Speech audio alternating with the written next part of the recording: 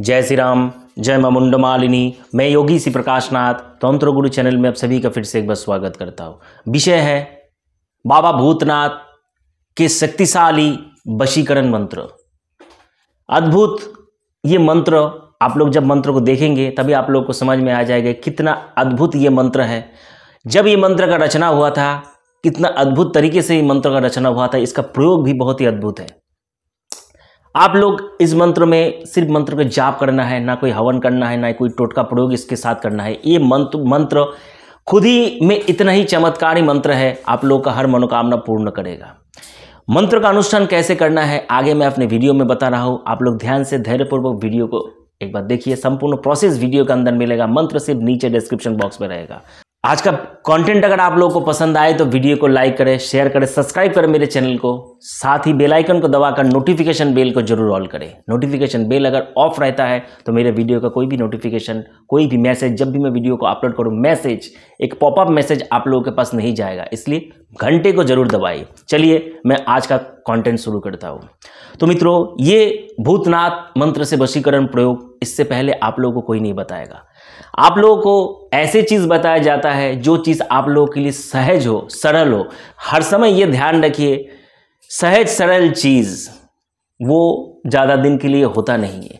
मैं जो कंटेंट आप लोगों के लिए लेके आता हूँ, कोई ये बोल नहीं सकेगा गुरु जी का मंत्र बनावटी है, तंत्र बनावटी है, प्रयोग बनावटी है।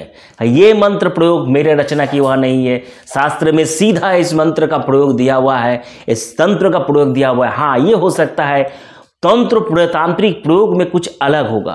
किताबों का प्रयोग और मेरे प्रयोग में अंतर है। क्या मेरा जो प्रयोग है, किताब से लिया हुआ नहीं है।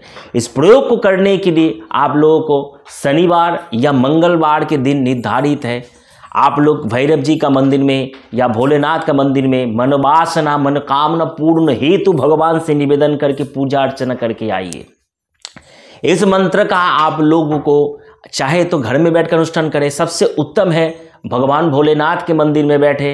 भैरव जी के मंदिर में बैठे, या कोई भी ऐसा मंदिर नहीं है तो हनुमान जी के मंदिर में बैठकर इस मंत्र का एक हज़ार आठ बार जाप करें। संकल्प आप लोगों को नहीं लेना आता है तो भगवान से हाथ जोड़कर विनती कीजिए कि फल हाथ में रखिए विनती कीजिए, प्रभु, मेरा अमुक मनोकामना है, अमुक व्यक्ति से मैं प्रेम करता हूँ, उस व्यक्ति को पाने के लिए, प्रभु, मैं ये भूतनाथ का सिद्ध वशीकरण मंत्र का प्रयोग मैं आज आपके चरणों में बैठ कर कर रहा हूँ, प्रभु, मेरे मनोकामना पूर्ण करें। बस यही है संकल्प। यही मैं मंत्र उच्चारण पूर्वक बोलता हूँ, संस्कृत वाक्य बोलता हूँ। आप लोग सीधा शुद्ध मातृभाषा में, अपने अपने मातृभाषा में इसी प्रयोग को अप्लाई करें। ये टेक्निक को अप्लाई करें।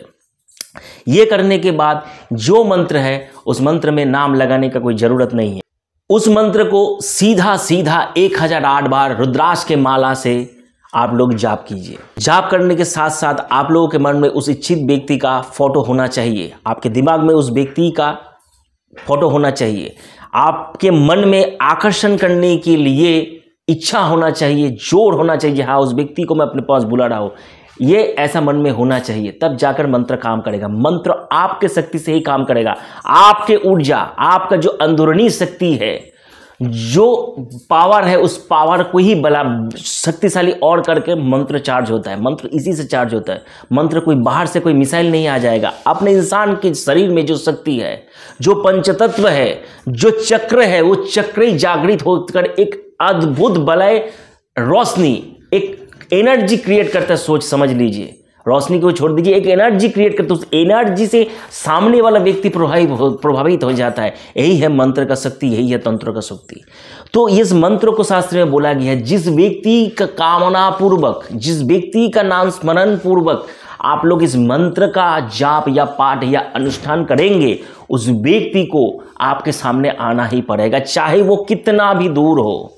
सात समुद्र पार कितना भी दूर हो, चाहे वो व्यक्ति, आप लोगों के पास उसे आना ही पड़ेगा। ये मेरा वाक्य नहीं है। ये सीधा सनातन धर्म का ऐसा ही वाक्य है। कोई काल्पनिक रातों रात कुछ भी नहीं हो जाता, ये भी मैं मानता हूँ। लेकिन आप लोग अप्लाई करने में आप लोगों को कोई असुविधा तो है नहीं।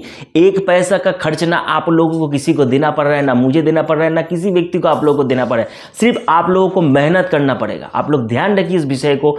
आप लोगों को किसी को एक पैसा देने की ज़रूरत नहीं है। आप लोग सिर्फ़ मेहनत करेंगे। उसके बाद भी किसी के लोगों के मन में अभी भी शंका है, ये अनुष्ठान करने से होगा। कौन बोल रहा अनुष्ठान करने के लिए? नहीं करो। बाहर जाओ, पैसा लगाकर काम करो। अगर पैसा बचाना है तो मेहनत करना पड़ेगा। मेहनत नहीं करोगे तो पैसा इन्वेस्ट होगा। ये दो ही ऑप्शन है। दो ऑप्शन में कौन सा ऑप्शन चूज़ करना ये अपना अपना विचार है। जैसा ठीक लगे, वैसा ही ऑप्शन चूज़ करके आगे बढ़ना मेरे हिसाब से उचित होगा।